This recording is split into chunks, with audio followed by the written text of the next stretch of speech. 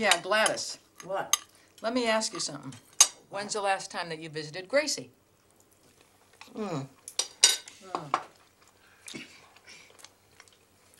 I don't know, it's been a while. Go ahead. Oh, I just wondering. Because I am tired of her bitching on the phone, that's why, and I wish you'd go over there and visit her. Remember when Mary would take that BB gun and oh, shoot those poor little sparrows, and then she'd stuff them with baby potatoes. Potatoes. You know, and then you know that poor thing is still chewing George Washington out of those dollar bills. Commander Ecker, this is the White House operator. Please hold. Shit. Honey, you don't know what shit is. Thank you. Go ahead, sir. Yes? Speak up, lady. I cannot hear you. I got a train to catch, and I'd like to be home by Christmas. Yeah, well, I've That's the one. Mr. O'Donnell. What What's her name? going to do? Margaret. Yes, sir. I understand exactly what you're talking about. I speak the language too. What? Margaret, would you mind helping me with something?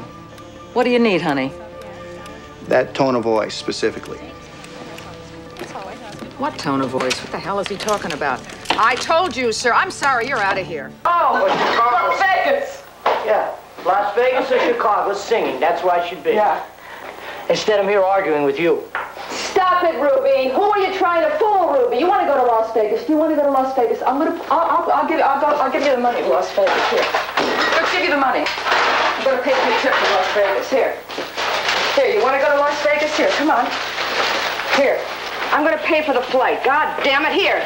Take it. Go to Las Vegas. Good luck. Good luck. What are you laughing about? You're supposed to be the mature one of the two. You let her write that garbage? Hey, wait a minute. This is between you two. Do you, do you, do you honestly think that I tried to run you over? You just happened to hit the gas as I walked in front of the car.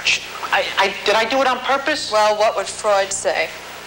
Freud would say I really wanted to run her over. That's why he was a genius. All right, listen, you two. I'm going upstairs. I got work to do. Don't forget that Willie's at ballet class, babe.